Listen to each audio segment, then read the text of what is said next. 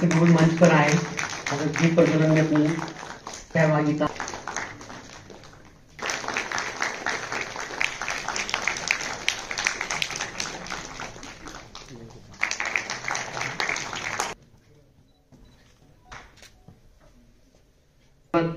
शुभारंभ हो चुका है। अब मेरा विनम्र आग्रह है For today's function, Shri Rashi Khanna ji, a guest of honor, Shri Madhusudan ji, IT retired, BSF, guest of honor, CSS Man ji, Ravi dignitaries present here on this occasion. I just got a call yesterday only that Khanna sir said, I want to have some interaction on the topic Samlo Mappe, Rab Tamil Jo Appe. So I admire his day for interaction session, and on that day, he did so the use of water.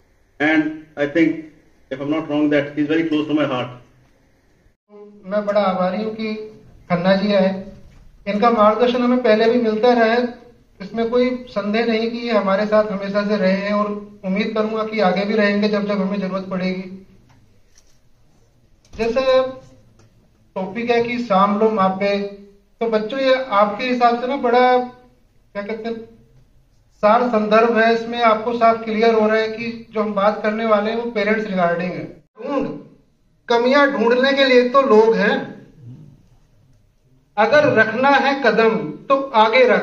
पीछे खींचने के लिए तो लोग हैं।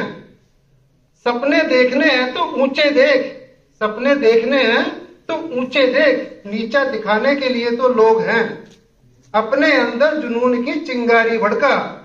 अपने अंदर जुनून की चिंगारी भड़का, जलने के लिए तो लोग हैं। अगर बनानी है तो अच्छी यादें बना। बातें बनाने के लिए तो लोग हैं। भरोसा रखना है तो खुद पर रख।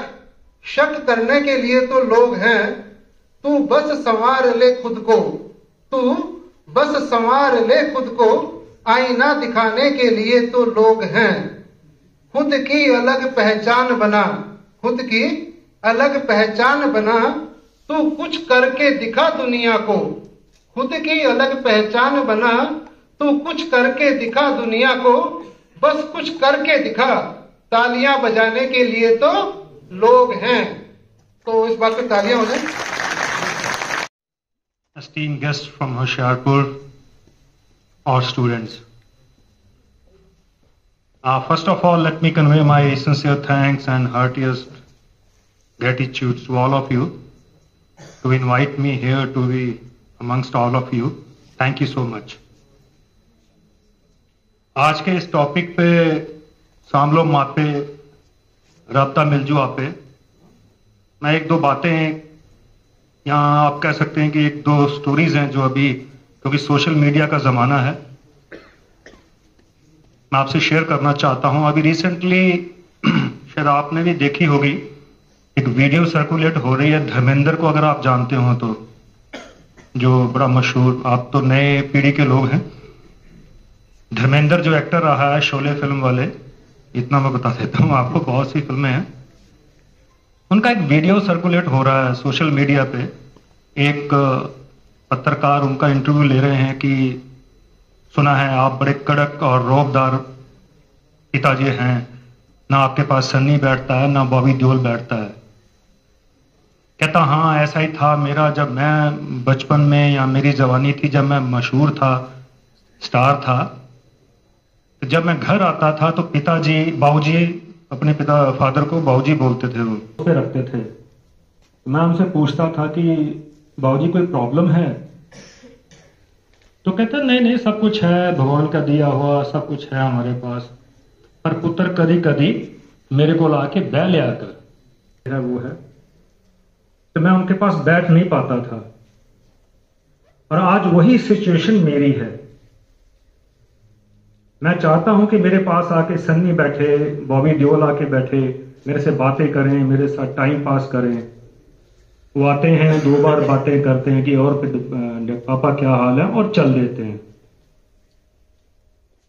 इसी के साथ साथ एक सोशल मीडिया पे एक और, पता नहीं आप लोगों ने पढ़ी या नहीं पढ़ी?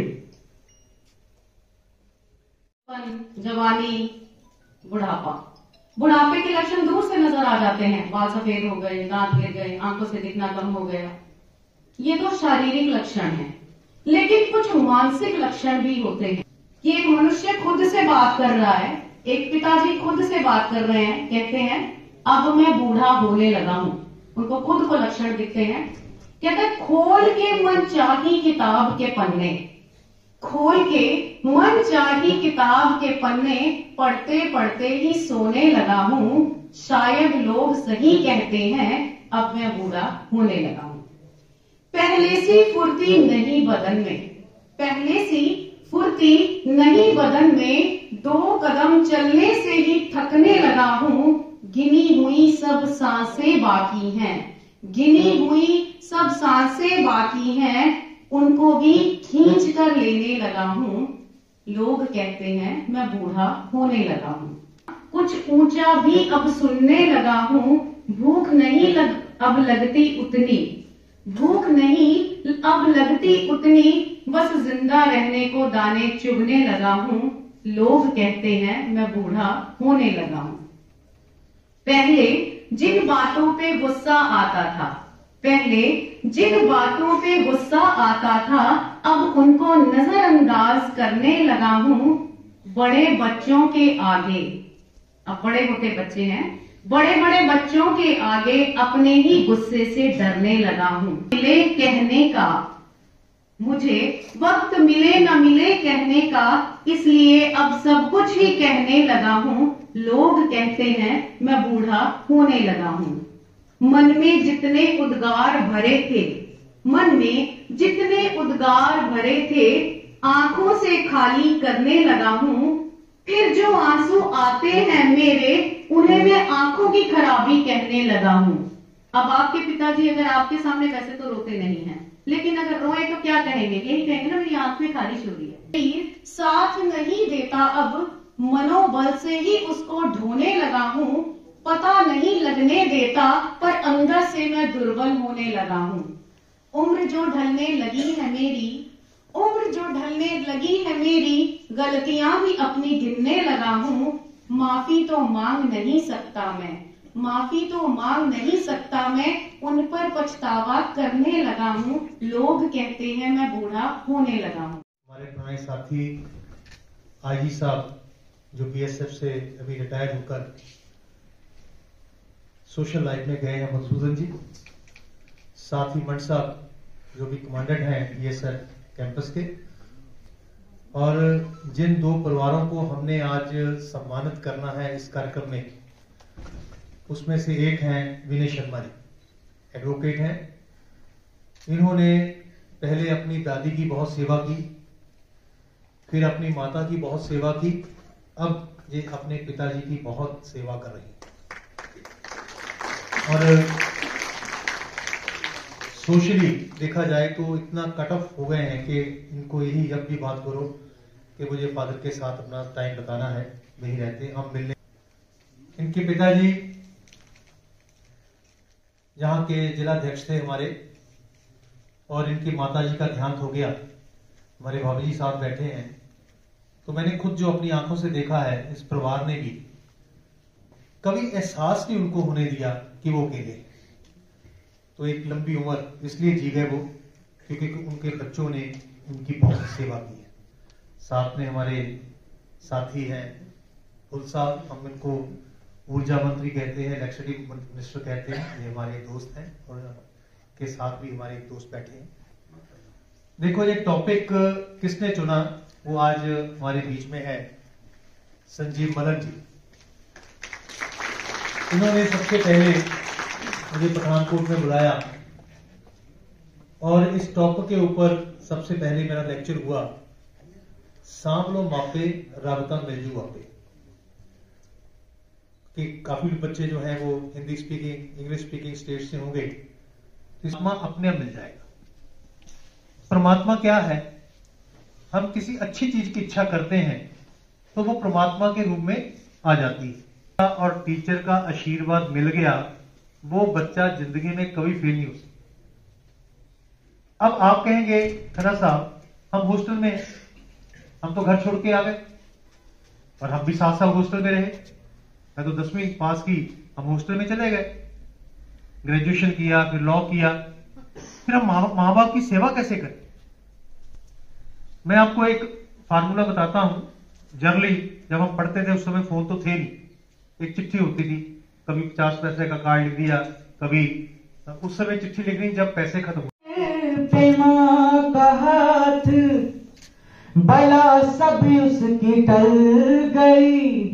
दुआ जिस जिसने ली माँ की। दुआ उस उसको फल गई। मुझे जब से मिली है माँ, मेरी दुनिया बदल गई। मुझे जब से मिली है माँ, मेरी दुनिया बदल गई। मैं रब से और Raju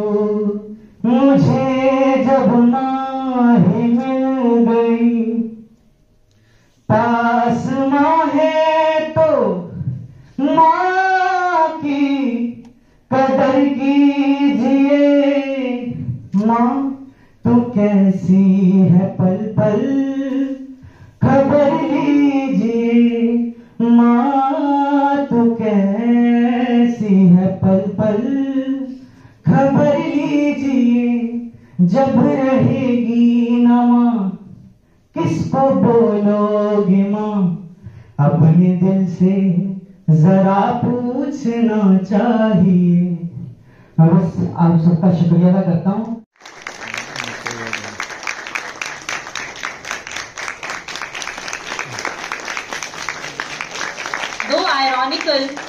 But this is the fact that this has become a कस्ट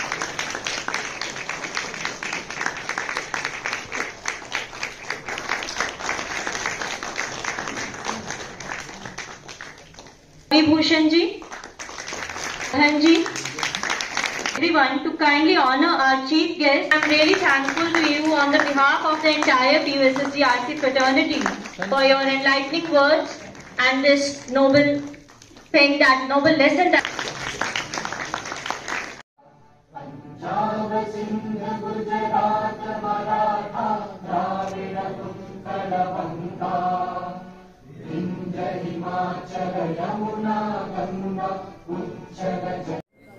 ਅੱਜ ਰੀਜਨਲ ਸੈਂਟਰ ਪੰਜਾਬ ਯੂਨੀਵਰਸਿਟੀ ਦੇ ਵਿੱਚ ਸਾਂਭ ਲਓ ਮਾਪੇ ਰੱਬ ਮਿਲ ਜੂ ਆਪੇ ਦਾ ਕਾਰਜਕ੍ਰਮ ਕੀਤਾ ਗਿਆ।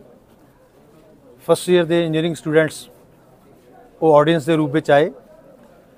Retired IG BSF Shri Madhusudan ji commandant Shri ਮੰਡ ਸਾਹਿਬ ਔਰ ਜਿਨ੍ਹਾਂ ਦੋ ਪਰਿਵਾਰਾਂ ਨੂੰ ਇੱਥੇ ਜਿਨ੍ਹਾਂ ਨੇ ਆਪਣੇ ਮਾਪੇ ਦੀ ਬਹੁਤ ਸੇਵਾ ਕੀਤੀ, ਉਹਨਾਂ ਨੂੰ ਸਨਮਾਨਿਤ ਕੀਤਾ ਉਹ ਰਜੇਸ਼ ਨਕੜਾ ਜੀ ਔਰ ਵਿਨੇ ਸ਼ਰਮਾ ਜੀ। ਅੱਜ ਦਾ ਸੁਨੇਹਾ ਸੀ ਕਿ ਸਮਾਜ ਦੇ ਵਿੱਚ ਜੋ ਬਜ਼ੁਰਗਾਂ ਦਾ ਤਿਸਕਾਰ ਹੋ ਰਿਹਾ, ਜਿਸ ਢੰਗ ਨਾਲ ਬਜ਼ੁਰਗ ਆਪਣੇ ਆਪ ਨੂੰ ਇਕੱਲਾ ਫੀਲ ਕਰ ਰਹੇ ਨੇ, ਇੱਕ ਮੁਹਿੰਮ ਸ਼ੁਰੂ ਕੀਤੀ ਹੈ। ਸੰਜੀਵ ਮਲਨ ਜੀ ਮੇਰੇ ਨਾਲ ਖੜੇ ਆ, ਉਹਨਾਂ ਦੇ ਸਹਿਯੋਗ ਦੇ ਨਾਲ। ਉਹਦਾ ਵਿਸ਼ੇ ਹੈ, ਸੰਭਾਲ ਲਓ, ਮਾਪੇ ਰੱਬ ਮਿਲ ਜੂ ਆਪੇ। ਜੇ ਪ੍ਰਮਾਤਮਾ ਨੂੰ ਸਹੀ ਮੈਨੇਜ ਪਾਣਾ ਤਾਂ ਆਪਣੇ ਮਾਪੇ ਦੀ ਸੇਵਾ ਕਰਨ ਦੀ ਲੋੜ ਹੈ।